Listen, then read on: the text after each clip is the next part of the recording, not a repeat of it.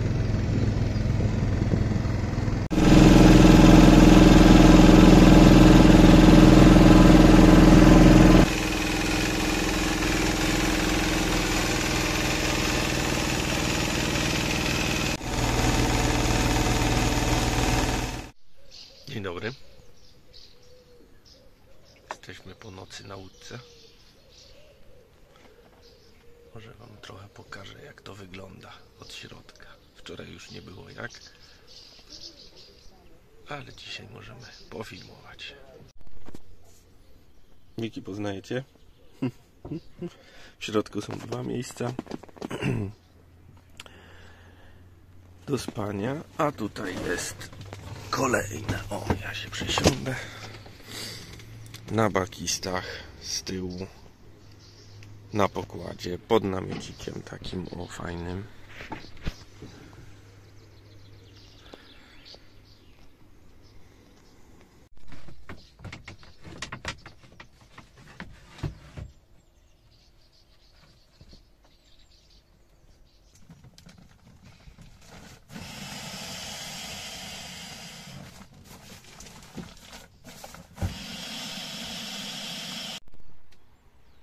No i tak to wygląda. Nie jest tu zbyt szeroko, ale da się spać. I teraz tak.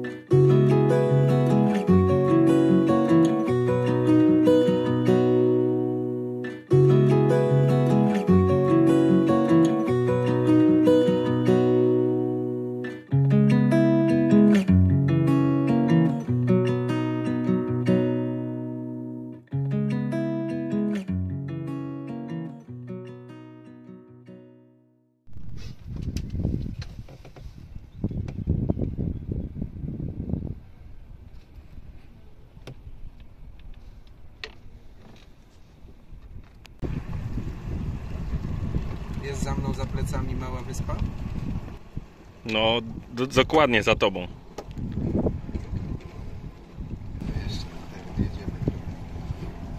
To co, może powiemy, czym my się tu poruszamy? Armator jachtu, proszę, o łódce. Co to jest? Jolenkreuzer, Jolenkreuzer 15. e, Jedna z mniejszych łódek serii e, 20-25. E, Jacht regatowy w latach 70. chyba.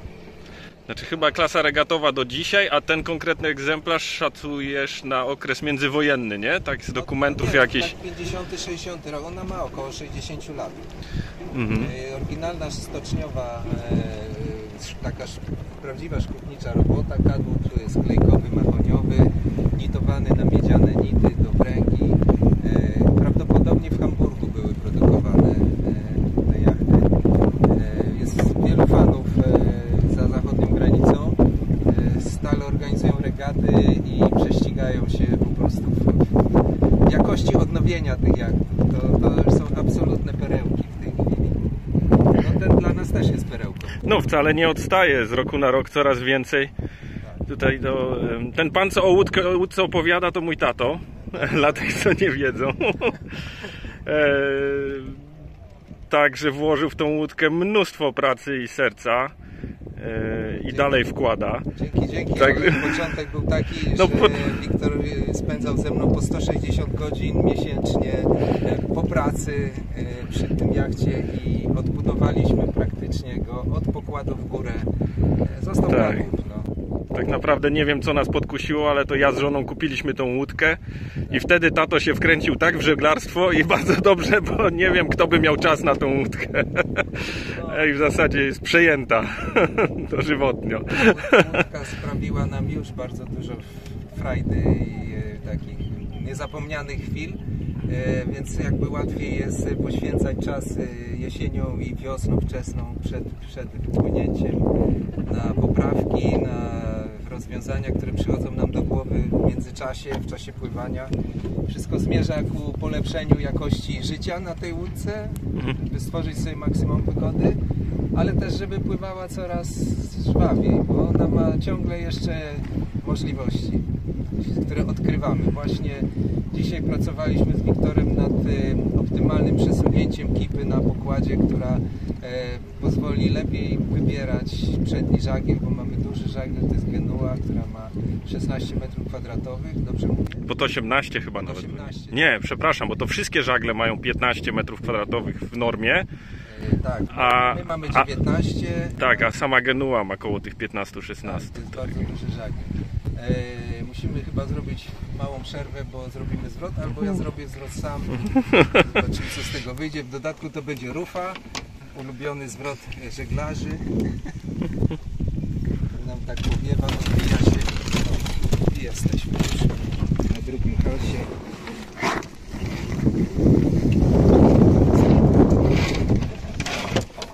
Wiktoria mało nam nie wylądowała jeziorze. A i teraz spokojnie możemy płynąć w stronę wyspy, mamy cień. Wiele lepszy hals, proszę Państwa. Szczególnie w taki upał, kiedy mamy 30 stopni. No wnuki są regularnie zabierane na jacht. Jacht jest nieduży, więc y, tutaj jest tak, że cztery osoby wygodnie żeglują, dwie wygodnie śpią. No wczoraj mogliście zobaczyć, są dodatkowe dwa miejsca tutaj na, na bakistach. Się te, te kabestany się ściąga, przedłużki się zakłada. No ale to czy to wygodne spanie jest? No nie, niekoniecznie. No. No, ja mam 1,90 m i w zasadzie y, nóg nie stóp nie mogę swobodnie rozprostować. y, Muszę mieć je pod, pod, podgięte lekko. Nie? Tak, tak, bez ga- 6,5 metra ma cała łódka. Mamy tu silnik. A to już widzieliście na, tym, na filmie. Oryginalne wyjście wału zostało wykorzystane, e, bo łódka była kupiona bez silnika i mamy silnik od kłada założony. To jest dosyć specyficzny. Trzy biegi do przodu, jeden do tyłu. Fajnie to działa, No naprawdę. i elektryczny rozrusznik. Tak, silnik czterosuwowy.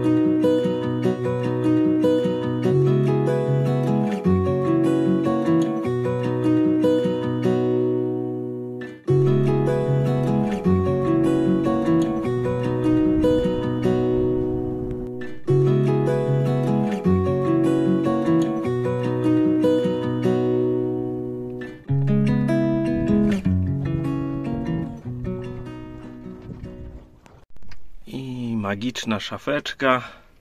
Otworzysz? Czyli Kingston.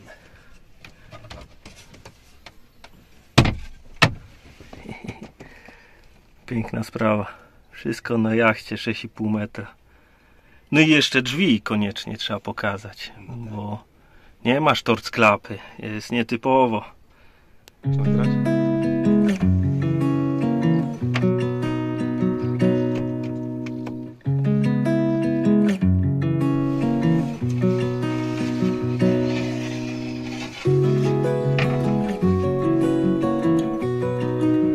I wracamy do domu. Koniec.